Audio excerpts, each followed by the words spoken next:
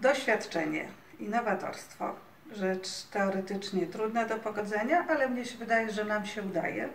Działamy od 25 lat, więc działamy bardzo długo jak na polski rynek, a jednocześnie udaje nam się cały czas rozwijać własną metodologię. Nazywamy ją metodą TROP.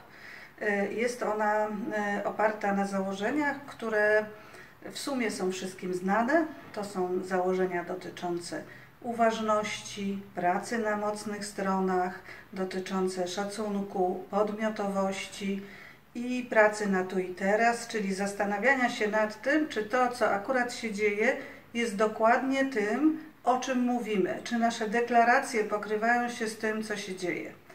E, ta metodologia sprawdza się w bardzo różnych obszarach, a więc mamy doświadczenie zarówno w pracy z małym biznesem, firmami rodzinnymi, wielkim biznesem, e, w pracy z organizacjami pozarządowymi, samorządowymi, a także z grupami, które zapraszamy do uczestnictwa w naszej szkole trenerów, szkole coachów, szkole liderów i szkole mediatorów.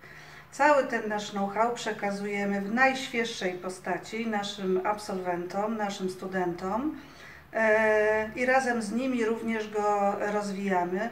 Także zapraszam e, wszystkie osoby, które chciałyby zanurzyć się w świecie dość tradycyjnych, takich starych wartości i po partnersku rozwijać razem z nami swoją wiedzę, e, swoje doświadczenie i swoje osobiste przeżycie.